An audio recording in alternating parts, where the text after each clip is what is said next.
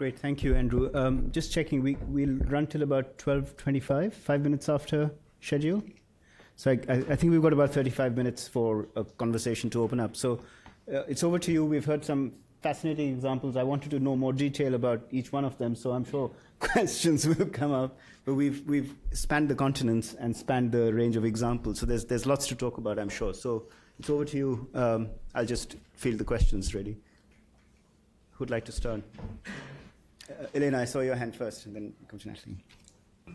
Um, sorry. I suppose this is maybe mostly. Don't forget to identify yourself. Oh yeah, sorry, Elena Bennett, McGill University. Um, mostly a question maybe for you, Steve, but I'm curious about everyone's response, which is just about the difference between working in a place like China, which has a very certain kind of management and decision making structure that comes from the top, versus maybe working uh, in other places where decision making is more complex. And if any of you could sort of address what that looks like in terms of the various things that you were saying.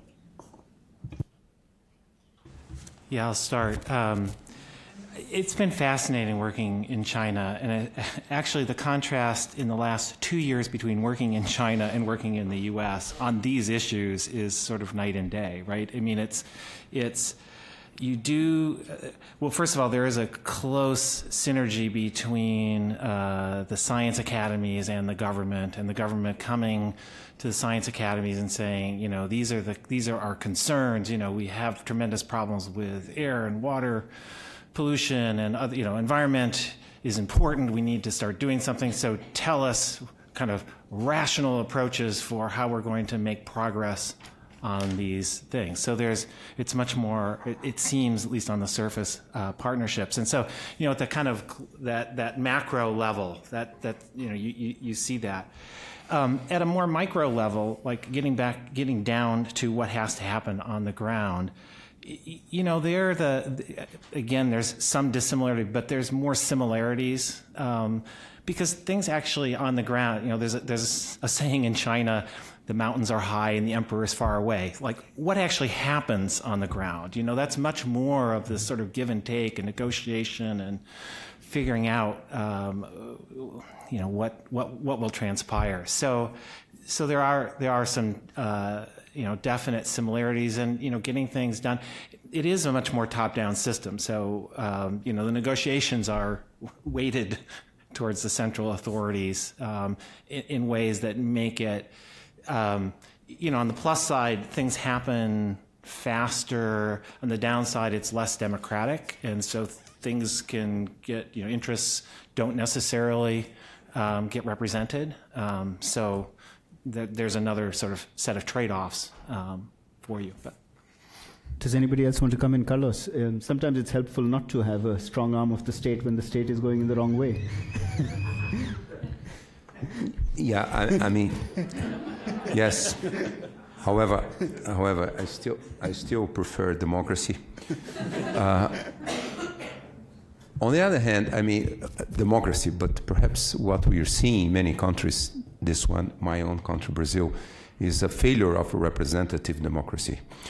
And uh, uh, I would uh, basically say uh, this the, the fact that in, in, Brazil, I will talk about Brazil, for two decades, all polls asking people whether they want to protect nature, what, what, whether they, they are all against Amazon deforestation. 85% of the people in the Amazon are against Amazon deforestation, 90% in Brazil. A poll conducted a few days ago through, through between first round and runoff in the elections kept the same result. This is very reassuring. However, there is a, dis a disconnect between the will of the people, majority, 90%, and the way the, politic, the politicians maneuver the system. In Brazil, the agribusiness has tremendous power. So they've been, for many decades, really giving the final decisions. So this is a permanent fight, and we should really hope and I think midterm elections here gave us a little bit more hope that uh, in Brazil, perhaps in four years, that uh, you know eventually democracy will you know the will of the people will prevail. But it's it's very hard to predict that outcome. Uh, Sandra, Andrew, do you want to comment on this? Should we? Any comments on this? No. Natalie, I think you were next in my queue, and then I've got a few other hands which I can see. Yes, um, I'm sorry. I, think Carlos might have actually answered it because obviously Brazil is really sort of central um, in our awareness and concern at the moment. Um, and I just wondered that I'm really interested in and by the statistics on food security uh, that you presented and, uh, um, and, how this is not an efficient model. And then you pro- pro- provide a sort of say that the economic case for for the sustainable um, working um, working lands and sustainable working lands in in Amazonia might work. But is are those financial arguments going to be strong enough to deal with the cultural ties to cattle um, and political, obviously, as well. The two politics and culture are, are, are very intertwined on the cattle story, and whether the, those financial arguments, whether you have hope that the financial arguments will transcend and, and you know, propel this transformation that you describe. Yeah, this is a good point because you know to understand the drivers of deforestation in the Amazon, uh, all over the Amazon, mostly in Brazil, you have to understand the cultural aspects of cattle, of uh, cattle ranchers. Uh, this is really the main driver because the, you know the economy of cattle in the Amazon is very poor, less than one he, he, uh, head of cattle per hectare. The prevailing culture is really land tenure, historically. But unfortunately, over the last two decades, 25 years, the organized criminal rings in South America, they took over. So the beginning of the process is illegal logging. And then after illegal logging, that area which has been logged, it will become a cattle ranch. Everything illegal. And then after a few years, that's the relate to the first question. Uh, Brazilian, the, the, the House of Representatives, Congress approves a new legislation which makes everything legal. Mm-hmm. It happened a couple of years ago. So this is a cycle, and uh, yes, uh, you know, one has to work also in education, really educating younger people, really for the less need of of land. And I, I have some hopes with this what is predictions for modern agriculture, agriculture of 21st century, to be more vertical, to be very, very highly efficient. So when that happens, perhaps the drive to own more land will diminish, I hope. Steve. Yeah, you know, sometimes you can make, you know, both the science argument and the economic argument that, you know, it's, it's better to do uh, more sustainable activity than an extractive industry, right? But, but then it doesn't happen. And so right now it's the question of what I was kind of putting into the politics and implementation. But you know, who has the power in the system to make decisions, or you know, who who actually does drive things, and what are their incentives? And they're not necessarily aligned with long-term sustainability or the global good, or even the good of the local people. So you know, really, I think as a community, we need to pay much more attention to what the structure of the politics and those institutions actually are. Because we keep asking these questions like you know we'll do we'll do a study saying well you know it's clearly better the social good is clearly better doing this which is maybe more sustainable and we don't get there. And, and, and largely it's it is explicable when you look at the dynamics within the system. Andrew did you want to come in Yes, uh, thank you very much. Yeah, it's just um, speaking from experience on um, sort of localizing climate finance. I think in most situations you need to work at multiple levels, but you also have to have a lever, um, or it's very helpful to have a lever. Um, international finance can often provide that lever, but you need multiple levels and multiple partnerships. And if you can't work with international finance, then you have to find levers in the local political economy instead. Okay, I've got uh, Sandra Diaz, um, Chris, and Yadvinder in my queue, and I can see a few more hands as well. so, Sandra, do you want to go first? I really enjoyed um, the way um, the sentence by Carlos um, that we needed a great acceleration in disruptive solutions. I think it encapsulated in a compelling way the spirit of many of the talks we have heard these two days. Um, so I thinking of that and thinking that we are closing, uh, getting close to the wrap up of the meeting, I was asking myself what would be the role of different scientists in this um, great acceleration of disruptive change. Uh, most of us are um, full time scholars, and according to our disciplines, what we should be doing if we want to be part of that change. Um, I, I, really enjoyed one of the subgroups yesterday. We had a lot of uh, great discussions, but most of the themes we focus on were social and political. So that's fine for social scientists, but then as a natural scientist, I wonder what can I do? Shall I humbly join as a minor partner the social scientists because this is where the main questions are? Shall I just try to assist that and be a kind of a minor partner? That's one option. If maybe that's what we have to do in order to help this acceleration change. And if not, if there is still a lot of a role for purely natural sciences within a transdisciplinary scope, could we um, mention the main question we should be focusing on? Mm-hmm. Sandra, can I invite you to respond first? Start by responding to this. Um, I would say both. Uh, I think Natalie very rightly reminded us that a lot of the uh, good ecological science is actually not making it to a lot of the uh, uh, nature-based solutions and other initiatives that are on the ground. And we had multiple examples through yesterday as well. Um, and so um, my um, current thinking on this is yes, you have to to accept to be humble, to start as a as a um, minor partner sometimes, but you've got to be ready to. Um, either provide or, uh, in fact, initiate um, the hard research that you need to answer some of the questions. Steve, you started out saying that the science was one of your four questions, so clearly there's a, there's a significant role still.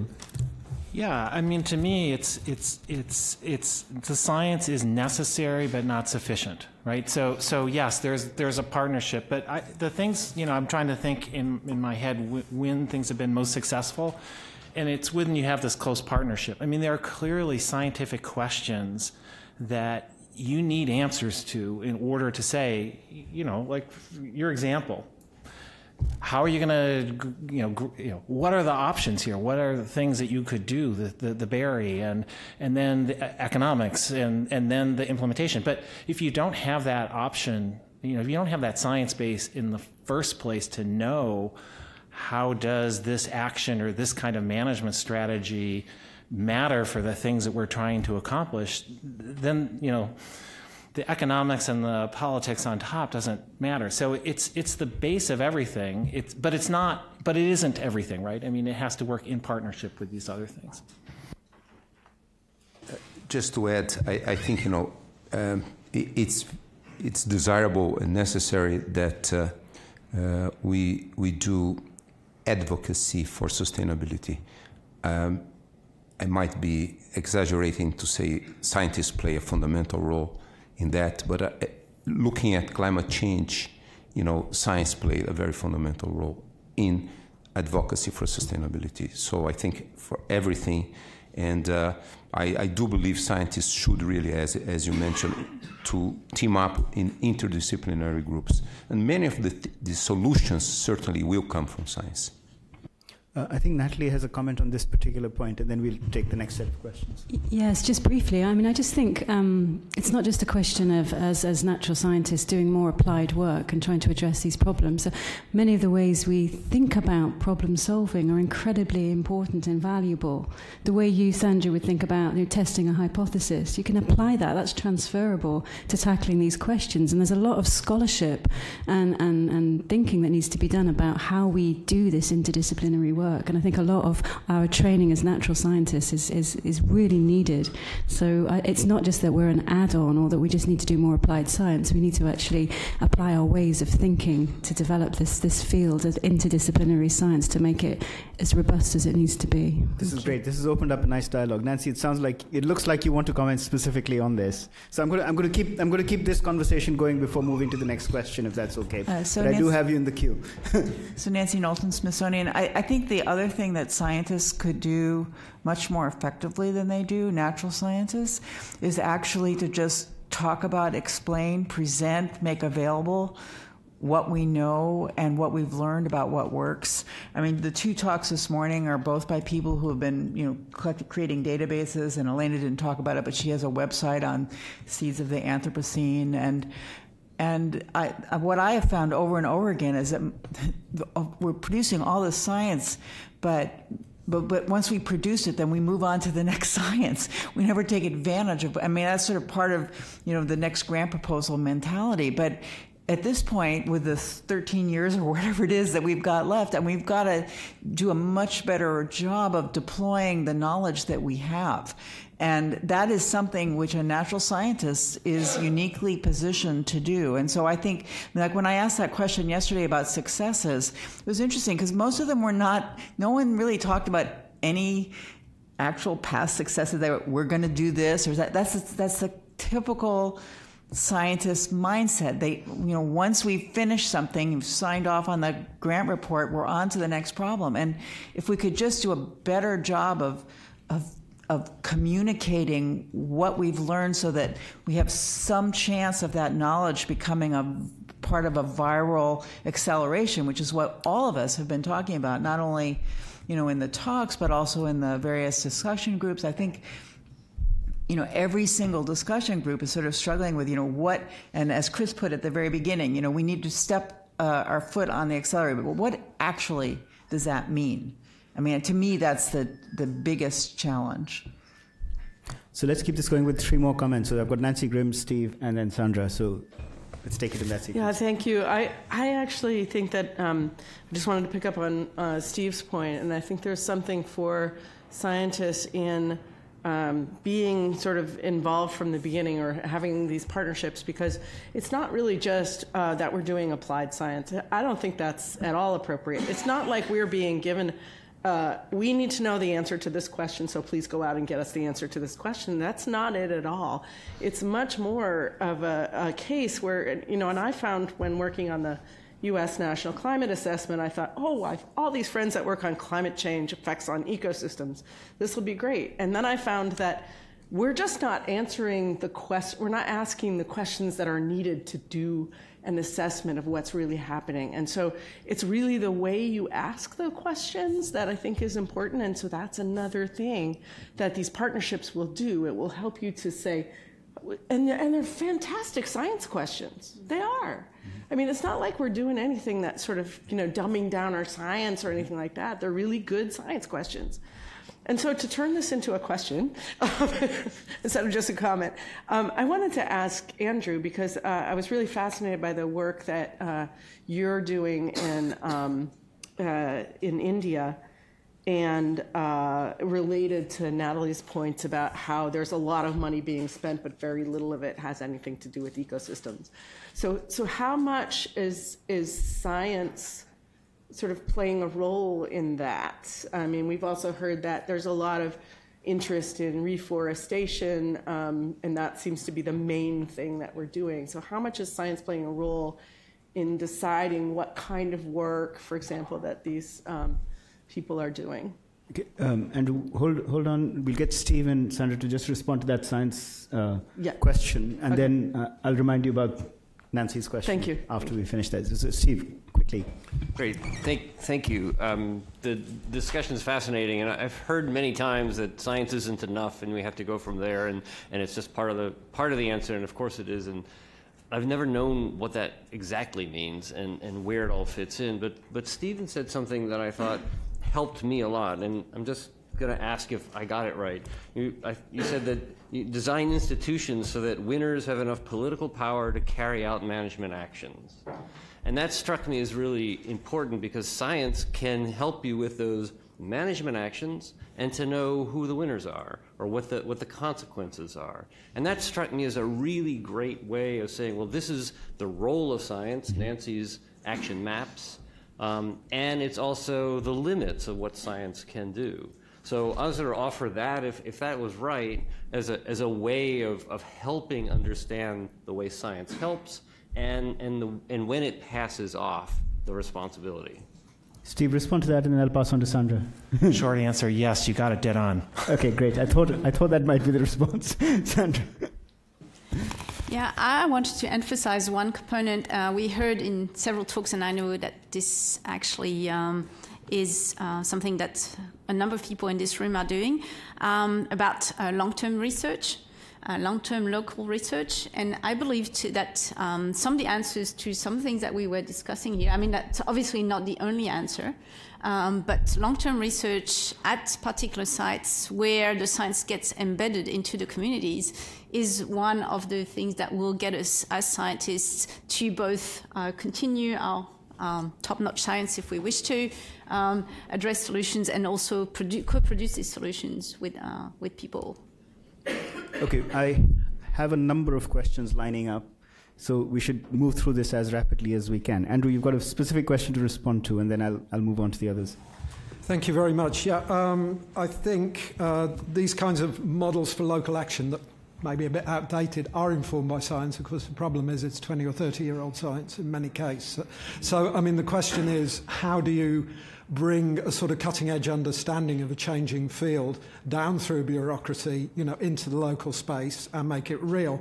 Um, in relation to adaptation, I think that's much easier than it is in relation to mitigation because people can observe the effectiveness of adaptation action and you can bring that in, you know, weather monitoring services and other things. Um, but I think there is a really interesting question about, you know, evolving approaches to uh, what good looks like in, at the, the landscape level, um, including the, the carbon elements as well as the resilience elements. Um, so that, in a way, I was posing that as the research question, and it's a research question that involves both science, uh, hard science, and social science. Okay, I've had a few people waiting patiently. So, Chris, you're, you're next in my, my queue. Chris Field, I, I'm really curious about your thinking of the relative importance of efficiency versus robustness in the design of, of these solutions. You, you know, I'm, each of you talked about a compelling solution, but I'm struck in, in California where I would argue we've had a relatively good success in tackling environmental problems. The hallmark of those successes has been for every problem there are a half dozen policies because one gets turned over in the court and one gets turned over in the next election. And, and um, when you think about implementing a set of, uh, well, a solution. How do you figure out how to how to strike this balance between the efficiency, the thing, the, the carbon price or whatever, and and a set of solutions that's really going to be robust to the kinds of political changes and and uh, economic changes and power changes that we've all been talking about. Who'd like to take that? Steve. I'll just try a partial. Chris, that's a great question. Um, I don't have a great answer um, because it, I mean it is essentially you're, you're trying to design. You know, if you're thinking about this kind of institutional design, or where where do you put effort into? You know, do you do you try to get the carbon tax passed in Washington State, or do you, you know, how do you, how do you, or you know, basically just say, hey, let's do more research on solar and wind because that's going to bring down the price and it's going to outcompete coal and uh, fossil fuels. Um, I think you asked the right questions. I think robustness actually, you know, robustness, resilience, that actually is sort of the right thing. I would argue actually that, you know, if you're really truly thinking about um, optimization or efficiency, but you're doing this in a stochastic dynamic framework, those two actually come closer um, together. But the point is, you want to be thinking about a longer term where where surprises are going to happen, and so you want your policy advice or your push on what you're trying to do to actually be that kind of robust, resilient on the policy side as well as you know what we think about for biodiversity and and ecosystems. Um, I think I'm going to keep it moving. So, Yadvinder, you're next. Okay, excellent. Thank you for passing on. Uh, Dov, you're just back, um, and I, we haven't come to you yet. So, you had a question way back. well, guess, uh... Dov Sax, Brown University. Um, I guess my question was more directed at Sandra and uh, Stephen, but this issue's come up a bit in the last couple days of ecosystem, like Sandra gave the example that there could be new ecosystem services that blink into importance with climate change. And, and the opposite's also true, right? Like uh, a lot of the current footprint of salt marshes around the world is going to be drowned and they'll be gone, right? By the end of the century with sea level rise. So whatever services they provide, where they currently are, will be gone. And the, the question I have is, in the context of climate change in this very dynamic world, it, it's a question for ecosystem services. It's also a question for conservation. Like, wh- what what do we do when we think that there's whole sets of services or places that will stop being important um, or will start being important? And how do we plan in that kind of context? That's the question. So um, the first thing is um, obviously to get the knowledge of what's going to be happening, and this is where a lot of the scenario work has um, a lot to provide. And the other one um, I would like to insist on is preparedness. So you have to make people aware of what's going to be happening. There's some work going on, for instance, in uh, Pacific um, island states where people know full well what's going to happen to their islands.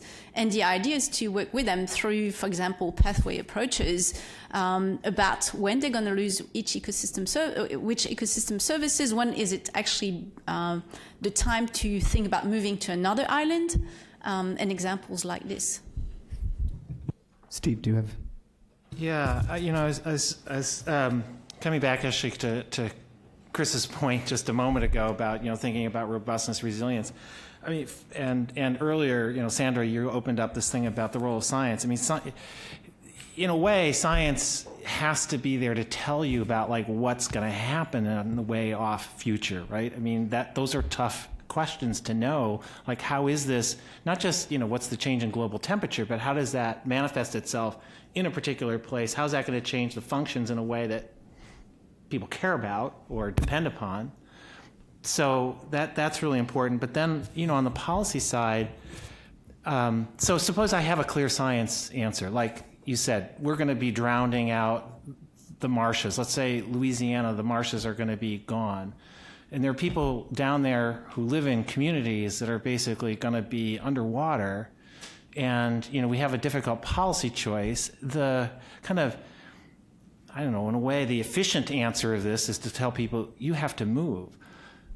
But that's a really difficult thing to do on the policy front. So, you know, there's going to be uh, some difficult questions, you know, and this is where the science policy, you know, either gets challenging or interesting. Um, you know, here are the costs and the benefits, but these come to particular people, and there may be, you know, real attachment of these people to this place that has to be factored in. Uh, to these things. But it's we oftentimes it's much easier just to look at the present and not think. But with climate change, we, we have you know we have an obligation, I think, as science, to think clearly about what these future consequences are, because many of the investment decisions that we make now are lasting decades. Um, and then, you know, picking up on Nancy's point, clearly communicating this. You know, here are the trade-offs, or here are the consequences. Okay, we've got Camille and Daniela in the queue, and then one last question. Probably we'll get through those three, and I think that might be it. Hi, uh, it's kind of getting back to what should scientists be trying to do in in thinking of the USA and Brazil in particular, where the central governments, which is what these kind of forums typically tend to to our products tend to go to the central governments, and in both those countries, the central governments have become less environmentally progressive, uh, less work on climate action. And yet, in both of those countries, there's a lot of local interest for environmental action and climate action. So I'm wondering if if you have some ideas about how we can kind of shift our the translation of our science from going to these big kind of national assessments, which the central governments aren't doing anything with, um, versus trying to directly get to the sort of city level or county level. And I mean, one idea I had is if in the USA, the mayors have an annual convention every year. Would it be worth actually having, and the governors, and would it be worth having panels, you know, actually setting up a scientific panel at these every year, even? That would discuss the science of climate change action, behind climate change action, and whatnot. Or any other ideas? Carlos, it sounds like that's something you might be well placed to comment on. I, I, I follow your your ideas completely. In fact, I mean, perhaps I'm being optimistic, but I think, uh, you know, CO2 emissions in the U.S. decline in 2017, and I hope it will decline in 2018. Um, if that happens, probably it shows that these subnational arrangements are working. And I'm really, in Brazil, I'm starting to think seriously about that, to start organizing subnational national arrangements, mostly for against deforestation, things like that, but also energy. Because I think, you know, if that's working in the US, even against some di directives from national governments, but uh, in Brazil it could also work because states and cities, mostly cities, may be willing to follow that path. So I'm very hopeful that we will be able really to make uh, democracy in that sense work better. And there's a uh, Daniela, let, us just move on to your next question. it, it follows up very nicely from that. We've heard a lot of information over the last two days. And there are several people in this room who will have the privilege of summarizing that information for the next IPCC report. For those of you who looked at the structure, there's a very strong focus on solutions, on giving examples, on telling stories.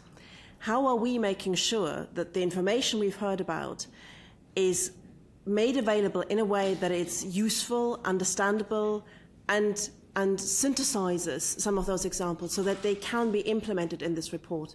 Because there's so many things to choose from, and it's not always easy to pick out which ones, you know, also to show those which didn't work so that people can learn from it.